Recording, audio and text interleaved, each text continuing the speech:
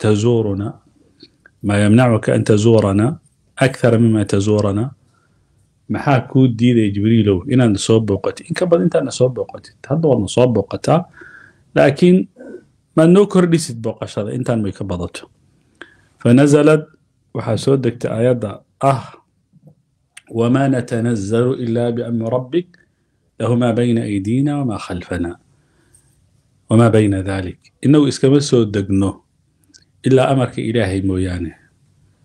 Isagu amarka gacanta ugu jiraa horiya gadaalba waxa naga horreeya waxa naga dambeeya inta u dhexaysa ilaah baa maamula.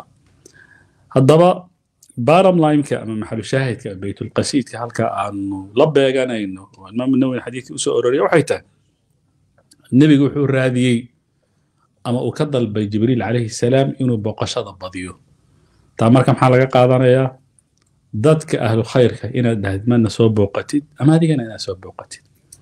Maxaa jibriil yaa ka khayr badan. Khayru man fi samaa wey. Oo makhluuqaadka ilaahay abuuray. Isaga u khayr badan. Makhluuq marka samada la joogo makhluuqaadka ilaahay u abuurana marka ardada jooga nebi maxamed sal alay isku soo duuduuba nebi maxamed abu khayr badan.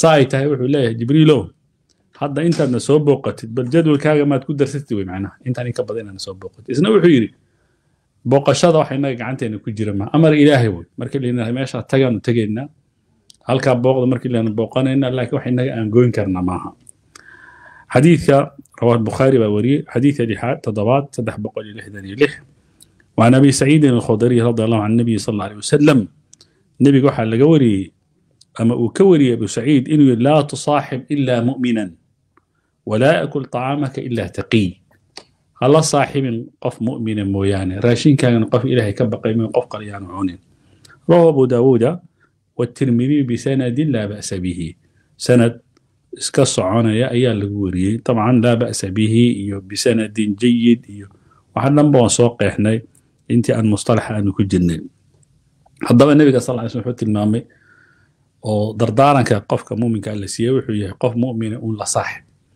calalka kaafirkaa meeshuu kaa turay waad og tahay? Eh, qofka aanan mu'min ahaynna halkuu kaala dhacay waad og tahay? Ta kale raashinkaay qof aan taqi ahayn yaanu cunin. Laakiin qof aan taqi ahayn markuu cuno waxaa siisa awooddii uu macaasida ilaahay ku geli lahaa. Ama ilaahay xuduuddiisa markaa uu kaga tallaabi lahaa. Marka waxa xadiidku wuxuu leeyahay raashinkaagana qof taqi ha cuno dadka aad la saaxiibaysan ha noqdaan dad mu'miniina. Xadiidka sideedaad wacan أبي هريرة رضي الله عنه أن النبي صلى الله عليه وسلم قال الرجل على دين خليله قفك قفك ساحبك بكدين هاي أما كضبعي هاي فلينظر أحدكم من يخالل متكينها إسكا إيغو وإسكا فيري عدة ولا صاحبه قفك صاحب لن نقونيس أغو حيالي إن القرين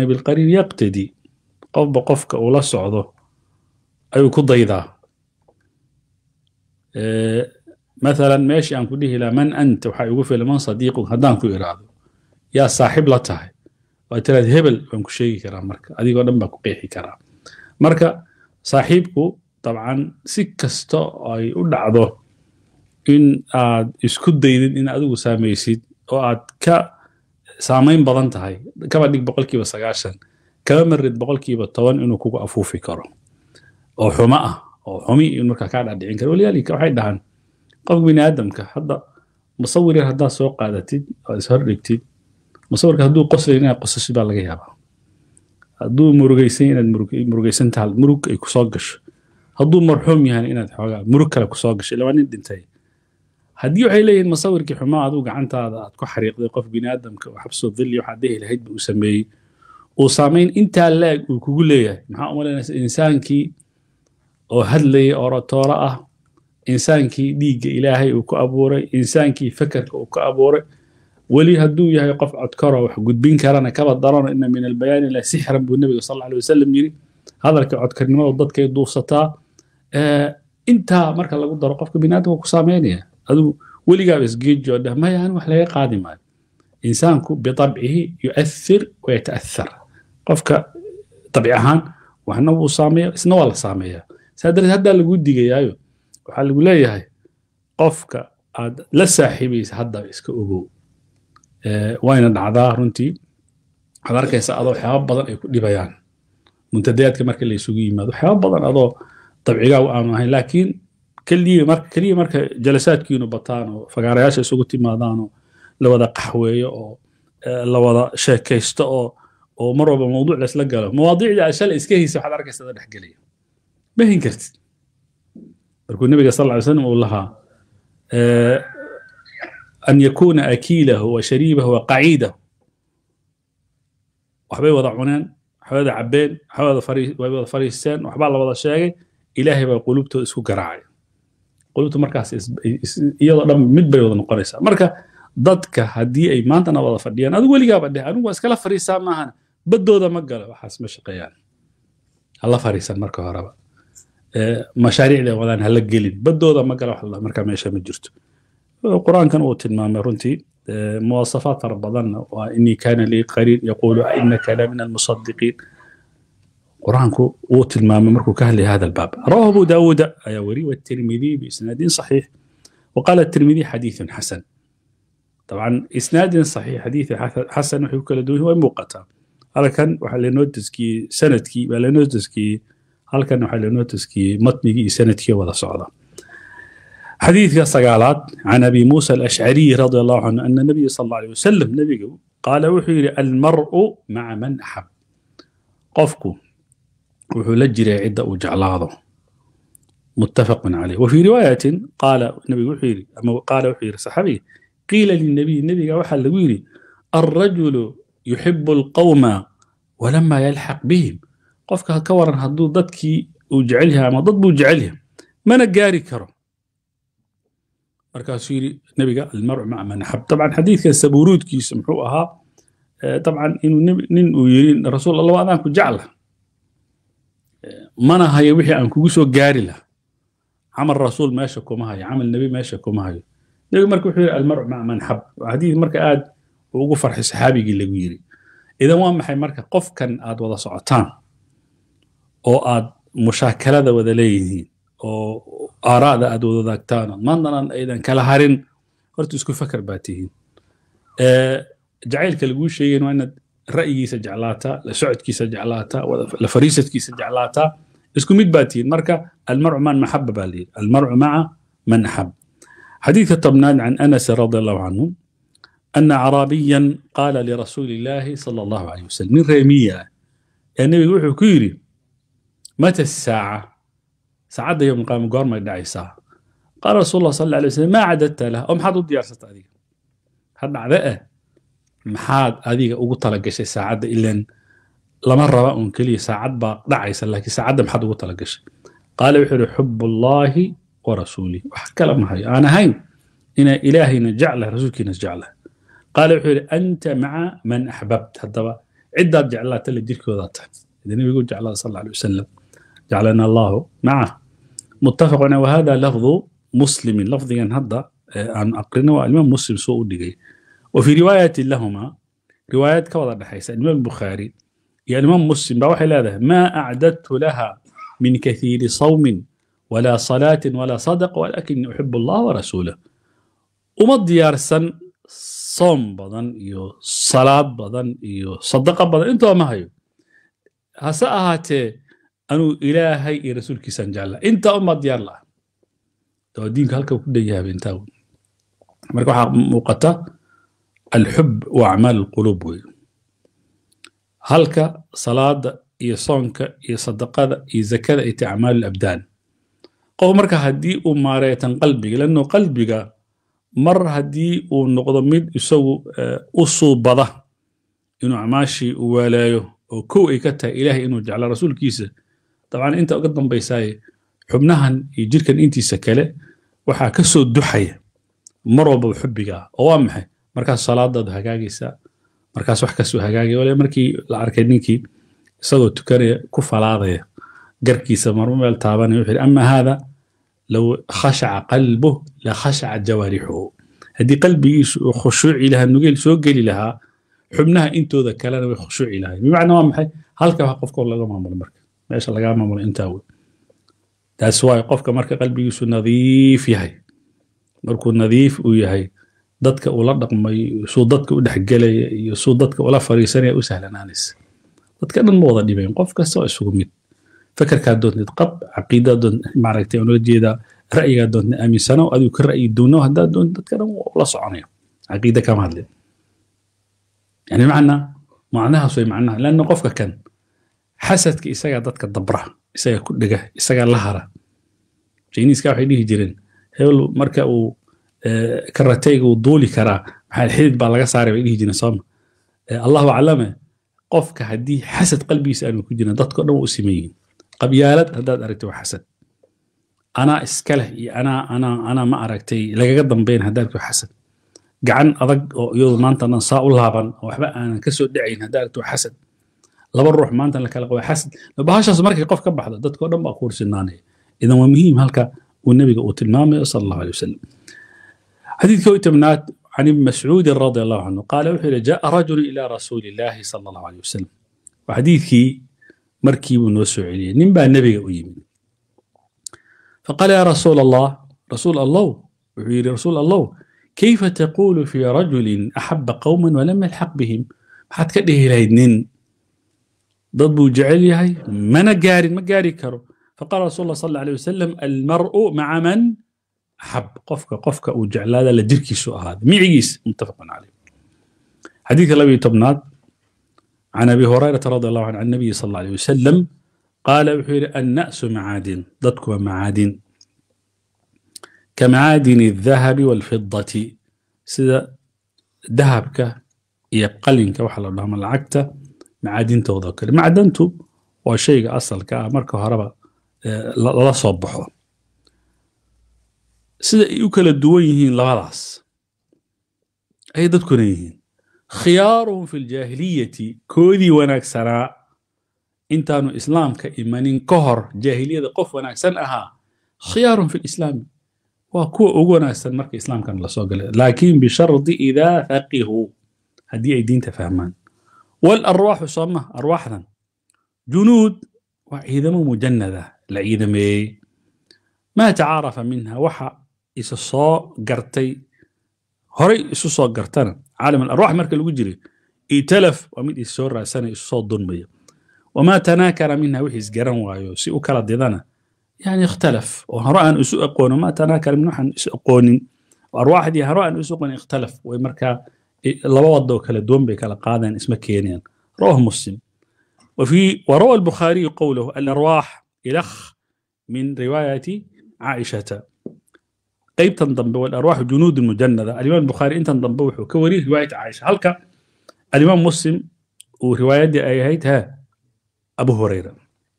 الضبا حديث لا بقى ضبا إن دول الشاقو أيام مضان قدبك كواد وحالا موجينيا sidaba dabcigu waa isagu mid maguuraana wey diintuse waxay kugu kordhinaysaa un keliya qofka inuu jawaani fara badano dabcigii ay hufto laakiin asal ahaan wax waxaa jir qofka ula dhasho qofku inuu noqdo qof aad u kolkolol oo xanaaq badan ula dhashaa islaamku wuxuu kaa bedeli karaa un keliya inuu kabxiga ku siiyo ku yidhaha war markaad furka tuuratid nin kolkolol baa tahay xoga saas waxaa lagu xusuusinaya ilahi subxana wa tacala cud billah min shaytaan rajiim. Ka dheh waa lagu hagayaa deeqsinimada waa lala dhashaa. Ee bukhriga qofkuu la dhashaa. Ee hinaasaha tira badan waa lala dhashaa. Allah mustacaan xaasidnimada waa lala dhashaa. Waxan waa dabci qof bini aadamka la dhasho. Laakiin geesinimada iyo waxa la midkaa iyo fulinimada wuxuu dhan waa la dhashaa. Laakiin qofku markuu muslimku islaamka uu soo galo islaamkaa tahdiibinaya daliil yar markaa idin siiyo. Nebigu markuu dumarka ka hadlaya wuxuu yidhi dabcigoodu ka hadlaya yaa lala hadlaya weli? Saxaabiyaad baa lala hadlaya oo caaisha ay ku jirto xafse ay ku jirto sawda ay ku jirto. Dad waxaa lala hadlaya oo saxaabatu rasulillahi sal alay slam saxaabiyaadkii ah. Markaasuu yidhi in takfurna alcashiir. Wanaagga lidiin galo. Waad dafirtaan buu yidhi. Wanaag haddii lidiin galo waad dafirtaan buu yidhi. Dabcan waan la og yahay maadaama mu'minad ay tahay saxaabiyad ay tahay ay og tahay waxaa ah marka wanaag lagu galo inaad jazaaka alkhayr dhahdid wixii aad xusuusa iyadoo uu nebigu og yahay haddana waxaa lihin waxaan dabci baa idinta. Markaasuu ku caddeeyey wuxuu yidhi alaysa idaa axsanta ilaa xidaahunna dahra kulla. Hal sana haddaad wanaajinaysid haweeneyda oo maalin khalad yar ay kugu aragto farahay kaa kawinaysaa. Khalad yar hadday kugu aragto waxay leedahay maalin fulaan ka waran wixii oo dhanba uma muuqato markaasuu nebigu wuxuu yirtay haddana saa ay tahay haddana idinkoo naaqisaatin naaqisaati caqlin wa idinkoo haddana adhaba lilubi rajul waaxid ninka caqliga badan idinkaa waddada ka tuuraya ninkiio khatar isla ah tu yaroo ayaa meel ku hubsanaysa. Keliya laba kelmada isku aadiso. Waa la tin yani dabcigu nebiga sal sl ka hadlaya. Marka macnaheeda jarxi uma aha. Haddaba qofku waxa uu yahay wula dhashaa. Islaamkuna wuu tahdiibiyaa. Saa darteed marka qofku markuu qof kullu iyo waxa le war lugaha dhulka dhigo. Acuudu billahi min shaytaan rajim war fariiso war shaydaanka iska naar war hebel iska cafi. Lanno nusuustaas waxay ku socotaa qof fulaya oo jihaadkii ka baqaya ayaa islaamka taxriidinaya min nafsi walmaali waljihad waa la dhaqaajinaya. Qof gacan adag oo bakhayle ayaa nusuusti saa loogu shubay suu wax u dhaqaaqo wax u bixiyo. Qof gacantiisu qaadqaad iyo xatooyo iska jeceshahay oo tuuganimada oo isaga dhashay ba waxa war iska ilaali. Yani waan maxay? Qof kasta wuxuu la dhashaa. Laakiin haddii ikhyaarnimada aad kala timid qabla alislaami. Yani islaam ka hor buu wuxuu ahaa geesi deeqsi wuxuu ahaa nin agtiis dadka aan lagu dulmin cadaaladuu yaqaan markuu islaamka la soo tiibuu la gelaya taa waa tii islaamka haddaba mujtamacayna markaan ku soo laabanno ninkii digdigle ah intuusan wadaad noqon digdignimada la gelay wadaadnimada wuxuu la gelay intii la gelaya indha adeegii wuu la joogay hadduu wadaad noqdo bahashu way daba taagantay. Ama ha ku dhex mooryaaneeyo fakarka diiniga. ah kan ha ka saara kan ha ku soo celiyo. Tiisumuu wataa isma bedelayo laakiin islaamka waxaa laga yaabaa inuu xoogaa tahdiib ku sameeyo laakiin tiisii wataa. Adna adeegii wataa nusuustu wuu ilan bahashu bannaanku la soo joogi jiray indha adeega mucaamaladiisa ahayd tii la soo gelaya qofka binaadamka marka idaa faqihooda markaasaa la raacay. Qodobka labaad xadiidkan dambe walarwaaxu junuudu mujanada sabab wuruud buu leeyahay. Waxaa tilmaamaa haweeney aad u kaftan badan qosol badan ba intay safartay ba waxay ku degtay mid kale oo iyadana qosol badan oo kaftan badan. Makay madiinay ahayd meesha? Nebiga markii loo sheegay buu wuxuu yidhi alarwaaxu junuudu mujanada macnaheedu waa maxay? Dadka isku dabciga ah way wada socon karaan. Qof waxaad arkaysaa weliga aadan arkin hadda isu kiin horaysa koob shaahad wada cabaysaan wada fadhiisanaysaan waxaad leedahay ninka kan toban sana istiqiina labaatan sana say isugu kiin baxayso oo aa u sheekaysanaysaanoo bahasha isaga maaragtay koobinaysaan hadalka meel idinla gelaysaa. Qof intaa aad masaajidka isla joogtaan oo is aragtaan oo wax xumiya idinka dhexaynin oo idan isdiidanayn oo ixtiraam weyn aad u haysa laakiin markaa wada fadhiisataan labadiina nin walba wuxuu ku jiraa god isuma maarag sheekada kugu bixi mayso. Waxaad dareemaysaa xoogaa isna lama wadi karo isna kulama wadi karo xumina maaha lanno dabcigaasaa marka waxay dhahaan arwaaxdan.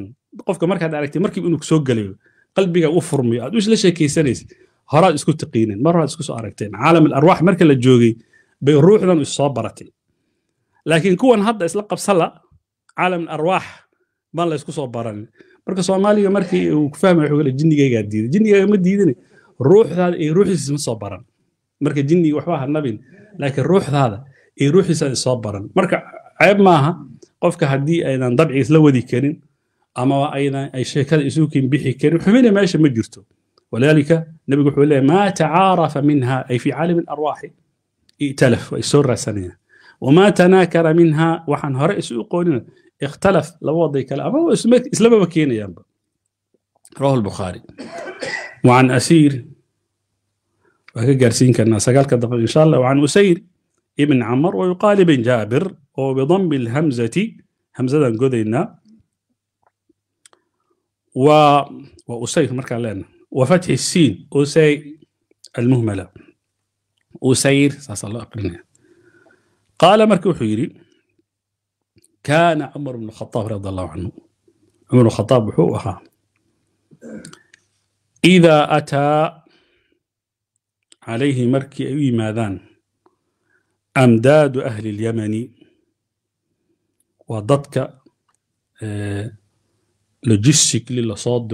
ee dacmiga u yimaada ee askarta la soo diro in markaa loo soo diro sa'alahum su'aal buu weydiin jiray. Ilan ciidan baa la soo diray. Ciidanka qofkii u yimaadba su'aal buu weydiin jiray. Su'aasha maxay? Afiikum uways ibni caamir dadkii markay imaanka yimaadaan uways ibni caamir nin la dhaho idinku jira uways buu baadimarkaa uu baadi goobi jiray. Xataa ataa calaa uways radi allahu canhu wuxuu baadi goobaba. Ilaa markii dambe uwayskii uu raadinayay uu helay uu ku yimid. faqaal lahu man ant faqaal lahu anta uways bn cumayr uways bn caamir dheh adigu uways bn caamir miyaa tahay qaala nacam ha qaala wuxuu yidhi min muraad reer muraad miyaad ka soo jeedaa ثم من قرن مركز نعم قال بك برص برص بعد قبي جرتي فبرأت منه مركا ميات كبك صوتي إلا موضع درهم مويانا إن يرى شيل لصار مويانا هذا كهر برص انتو كوكو دعي ma ka bogsoto meel yar uma kugu harsantah qaala nacam haa uu yidhi qaala laka waalida. Hooyo miyaa kuu joogta ku dhashay? Markaas nacam haa qaala wuxuu yidhi nabiga markuu hela dacuunu khataab wuxuu weydiiyey su'aalaha ma adigaa haa ma muraad min qaramaad ka soo jeedaa haa baras baad qabi jirtay ood ka bogsootay in yar mooyaan haa hooyada intaa markuu weydiiyey wuxuu yidhi samictu rasuula allahi sala allahu alay wasalam waxaa nebiga dhegahayga kaga maqlay yaquulu isagoo leh ya'tii calaykum uways bnu caamir uways ibn camar baa idiin iman doona. Maca amdaadi ahlilyamani muraad isagoo la socda nimankii nusrada u imaanayey ee reer yeman ahaa ee ka soo jeeda muraad uma min qaran wa kaana bihi baras baras buu qabi jiray baa nebiga ina yidhi fabara'a minhu wuu ka bogsooday ilaa mawdica dirhamin in yaroo shilin la saara mooyaane. Lahu waalida hooyaa u joogta huwa bihaa barun uu u baarinimo falo. Waa nin baari ah oo hooyadii u samafalo low aqsama cala allahi laabara haddii ilaahay magaciisa ku dhaarto uu yidhahdo wallaahi maanta roob baa soo daaya ilahay u baariyin roobkaa soo daaya ilaahay shantaa nin uu la kacayaa kow buu ka siinaya kow buu ilahay ka siinaya ilaahay ninka xool uu siinay xoolihii baa markii soo dhacay ilaahay subxaana wa tacaala habiib buu siin yani macna waa maxay waa qof dhaartiisa ilahay u aqbalayo haddii lagu yidhaahdo hebel u baarinima faldhaarisi marka markuu yidhaa wallahi alcadiim maanta waad joogaysa waa inaad ka yeeshaa qofka muslimka walaalka waa inaad ka dhaqaaqin. Wallahi alcadiim maanta waa ila qadaynaysa waa fariisanaysa. Qofku dhahaya maba jira haddee. Wallahi alcadiim hadduu ku yidhahdo waa la fariisanaysaa oo macnaha law aqsam calah la bara ilaahay hadduu yidha magaca ilaahay hadduu ku dhaarto ilaahay wuu ka yeelayaa buu ninkaas. Awliyadii baa la sheegay hadduu. Fain istatacta an yastakfira lak. Cumarow haddii aad kartid ninkaa inuu ilaahay dembi dhaaf kuu weydiiyo fafcal samee waxaad tidhahdaa dembidhaaf i weydiida fastakfir lii markaasuu yidhi fastakfir lii haddaba cumar baa dhahaya ilahay dembi dhaaf weydiiye nebigaa saa yidhi niyuu ilahay dembi dhaaf weydiye fastakfar lo isnaga ilahay dembi dhaaf weydiiyey qaala lahu cumar cumar marka wuxuu yidhi ayna turiid halkee ku sii socotaad rabtaa qaala wuxuu kuufa kuufaan ku sii wajahanaya buu yidhi qaala wuxuu yidhi cumar khataab wuxuu rabaa maadaama nin weliya uu yahay oo eh, nebigana uu eh, kala hadlay sha'nigiisa oo haddana ilaahay u dambi dhaaf weydiiye xoogaa inuu u wanaagsanaado maaragtay wuxuu isugu aadiyey wuxuu yidhi alaa aktub laka ilaa caamiliha haddaba dhambaal ma u diraa.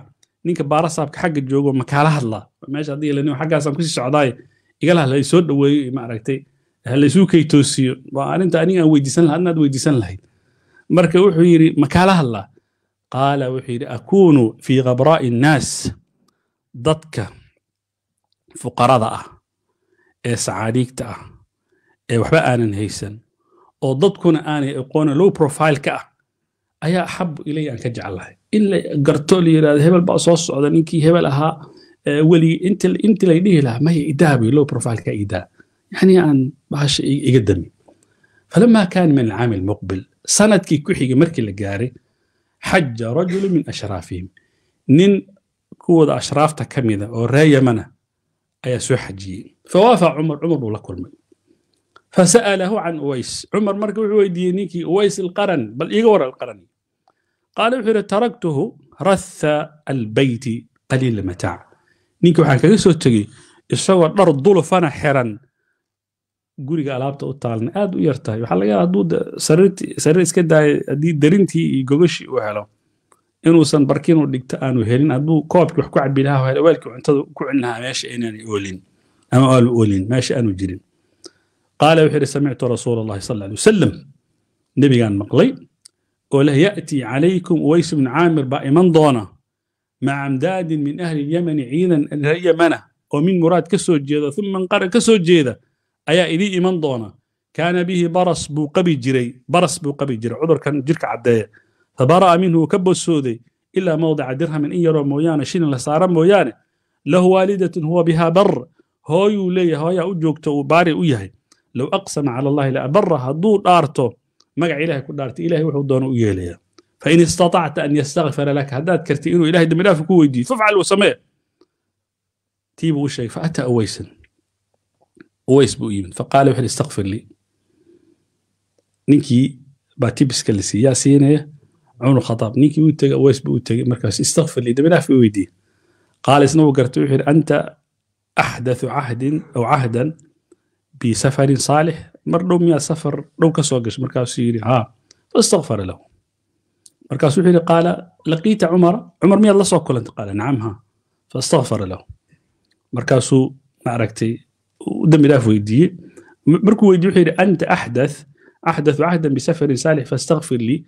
isaga wuxuu ku yidhi niyo adaa hadda safar wanaagsan ka yimid oo beytka ilaahay ka yimide faistakfir lii dembi ii weydiiye oo ilahi subxana dabena fiida saasaa raba inaan dhaho qaala markaasu laqiita cumar cumar mayaa la soo ka qaala nacam fastakfara lahu markaasu wuu gartay marka ninka kan inuu cumar la kulmo dibidhaaf u weydiiyey fafatina lahu nnaas dadkii baa ku baraaruga marka in ways joogo shanigiisa nebiga ka hadlay dadkii dhan baa gartay fanطalaq calaa wajhi meeluu ka bax waa la waayay hore u dhaqaaqa muslim lanno dadkii dhan baa isu soo sheeg sheegay ways ways ways wa fii riwaayatin limuslim waxaa ku arooray waa xadiidkan waa inaan dhammayno أسير بن جابر رضي الله عنه أن أهل الكوفة وفدوا على عمر ريا كوفة عمر الخطاب أسو مرتي.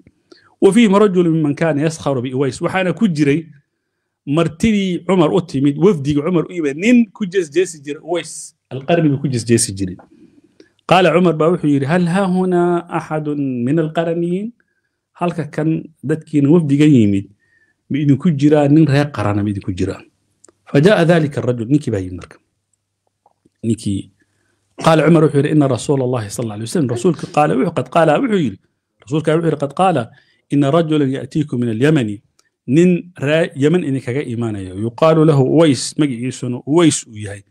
Laa yadacu bi alyamni hayra ummihi bilyamani hayra ummin lahu. Yemanna aanan kaga soo tegin cid aanan ahayn hooyadii. Qad kaana bihi bayaadun قد كان به بياض جركي سووع عداي برس بوقبي فدعا الله فدعا الله تعالى إلهي ببري فأذهبه إلهي بكتكسي إلى موضع الدينار والدرهم أنت مويانا فمن لقيه منكم قفك لكل ماي فليستغفر لكم هذه النبلاف ويديو وفي رواية له عن عمر رضي الله عنه قال وحير إني سمعت رسول الله صلى الله عليه وسلم نبي كان مقلي قاله إن خير التابعين هذا مين كان تابعين وهذا الشيء يا صحابي ما هي ويس القرن تابعين توحى هو خير بدن رجل nin oo yuqaal lahu uways lagu magacaabo. Walah waalida hooyaa u joogta wa kaana bihi bayaad jirkiisu u caddaaday oo baras baa ku dhacay. Famuruuhu falyastakfir lakum ninka isaga ilahay dambi dhaaf subxaana wa tacaala ha idiin weydiiyo. Wa qowluhu ghabaraa annaas markuu lahaa idaah aan ghabaraa annaasi ku jire. Eh ghabaraa waxaa laga wadaa bifatxi alcayni almucjama gha gha wa iskaani alba wa bilmad. Ghabaraa whum fuqaraaum waa dadka fuqarada ah wasacaaliikum dadka waxbaana haysan waman laa yucrafu caynuhu min akhlaaqihim qofka aanan cidna garanayn oo isagu iska low profileka aanu niri walamdaad uu nebiga uu lahaana ay jamcu maddin weeye jamcu madadin aan leeyahay wahum alacwaan waa dadka iyagu taageerayaasha waalnaasiruuna hiiliyaasha aladiina kaanuu yamuduuna almuslimiina fi ljihaad waa inan gadaal laga soo diro oo markii jihaad inta la qaar gadaal ka imanaya oo maaragtay military supportiga u imaanaya marka qolada kale booskooda buuxinay. Shaahidka marka wuxuu yahay adinku uu taagay laakiin labadan xadiid waa waa ku khasban tahay. Shaahidka wuxuu yahay fi hada albaab wuxuu yahay ninkan horta waa weli oo nebigaa sheegay. Laakiin weli dadka kaar marsada ma ahayn. Oo iyadoo xaaladda uu ku jiro wuxuu jeclaa inuu isqariyo oo dadkiisa oo ka mid noqdo dadkii hore dadka saalixiinta diinkooda wax kuma cuni jirin. Nin baa nin saalixo intuu wax ka iibsado raba markaas ilmaha kuu dhaafay maadaama aad nin caalima tahay wuxuu maya anagu diinka diinkeenna wax kuma cunno. Macnaheedu waa maxay? Haddii ilaahay ahli uu kaa dhigay in ummadda inaad kaar marsatid maaha. Halkaa marka waa muhiim hadda kaar marsi waxaa ka daranba taadii baan uga badbaadayba iyadan dhib kaloo hadda jira oo nagu soo kordho wey haddaba ninkan isaga ah uways alqarani nabiga uu ku tilmaamay dhowr sifo.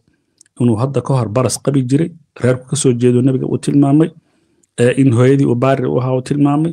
Runtii c v-giisa waxa ugu culus ee lagu sheego waa maxay? Kaana hooyadiibu baari u ahaa. Yani wax sahlana maaha.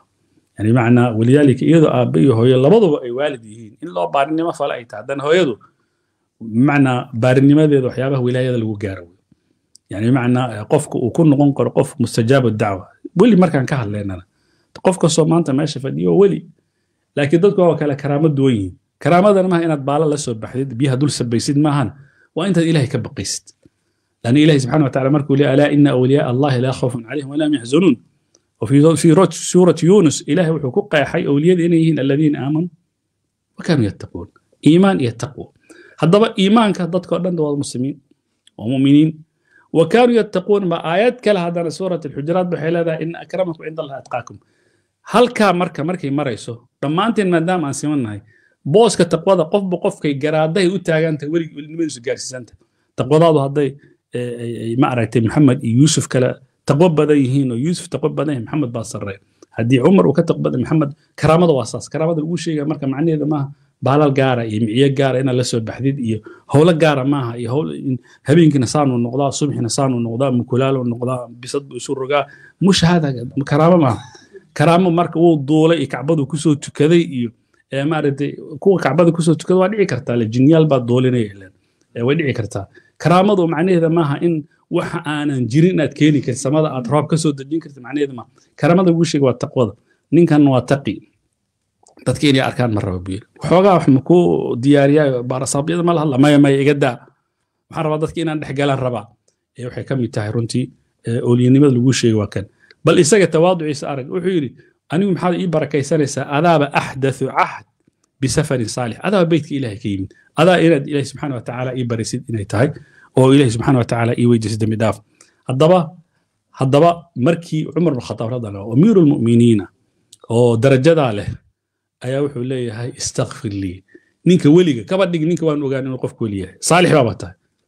Ma waxaan ku leeyahay waxaad awood wax awooddaada ka baxsan isii kuma dhihi kara. Laakiin waxaan ku leeyahay ilaahay ii bari muraad baan leeyahay ummadda masjidka qof markuu yimaado adu hal qof baa tahay khalqigan meesha isugu yimid mid unbaa ilahi subxana wa tacaala ajiibay ama intooda dhan quluubtoodu way kaa badan tahay ducadoona way kaa badan tahay ilaahay ii barya waa la ogolyahay laakiin isaga la fahantiisa waxuma weydiisan kan ii samee ma dhihin taana iyadana marka waa muhiim in marka lagu baraarugo lamana waana karaamo meesheeda markaa leh وعن عمر بن الخطاب رضي الله عنه قال استأذنت النبي في العمرة nebigaan idin weydiistay inaan cumro aada faadina lii uu iidmay qaala wuxuu laa tansaana aw laa tansana yaa ukhay min ducaa'ik. Walaalow ducaadaha naga soo halmaamin.